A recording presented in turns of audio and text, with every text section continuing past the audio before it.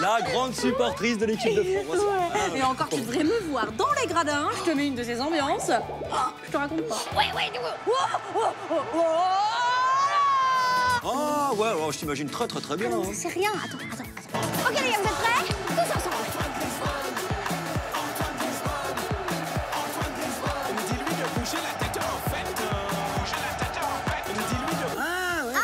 C'est vrai qu'on doit bien s'amuser à tes côtés. Bah hein. ouais, Ah c'est ce que tout le monde dit. C'est la folie, hein c'est la folie. Bon, allez, je te propose de regarder une vidéo de la petite Jajou. Une vidéo Oui, notre vidéo, ouais, une vidéo, une vidéo. Je vous ai préparé une vidéo sur la... Ah bah, la Coupe du Monde. Ah, ça, ça c'est percute, bien, ça. hein,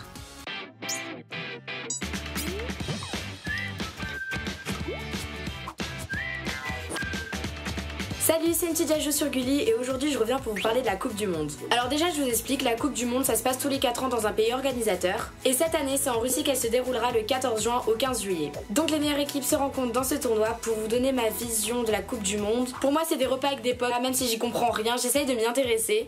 Après il y a toutes nos mamans qui préfèrent passer des soirées entre filles pendant que nos pères regardent le foot avec leurs potes. Pour moi la Coupe du Monde de football ça permet de s'unir derrière la même chose. Il n'y a pas de riches, de pauvres, de blancs ou de noirs, tout le monde s'unit et oublie ses problèmes. Mon père m'avait dit qu'il y avait plus d'un million de personnes dans les rues de Paris quand la France avait gagné en 1998. C'est juste énorme comment ça peut réunir du monde. Moi tout ce que je souhaite c'est que la France aille le plus loin possible dans cette compétition. C'était une petite ajout, j'espère que ça vous aura plu. Et moi je vous fais de très gros bisous.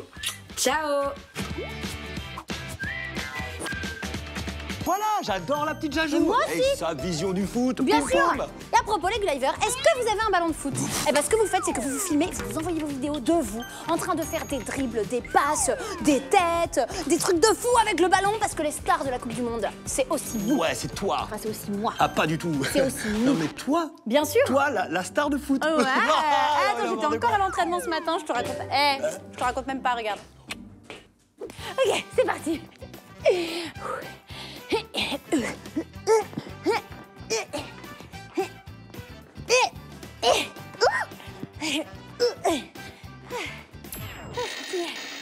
Alors, alors. Bien. Ouais, non, mais très bien même. Non, mais tu sais quoi, ça mériterait une petite démonstration de ta part en live, tu vois. Tac, tac. Alors, oui, mais pas maintenant. Parce que. Oh C'est Danger Mouse. Oh, tu t'en tires bien, c'est vrai que ça arrive. Championne. Championne, ouais. Championne. Et d'ailleurs, dans l'épisode qui arrive, Danger Mouse va Ouais. être confronté à un rhume. Ouais. Mais alors, un rhume qui Ouais. transforme les gens en éléphants. Ouais. Il aurait peut-être besoin d'une championne comme toi pour l'aider. Qu'est-ce qu'elle fait? Non, parce que en fait, j'ai- j'aime pas les rhumes. Et euh, du coup, je, je vais rester là. Ouais, très bien. Ben, tu restes là, tu regardes et tu mouches.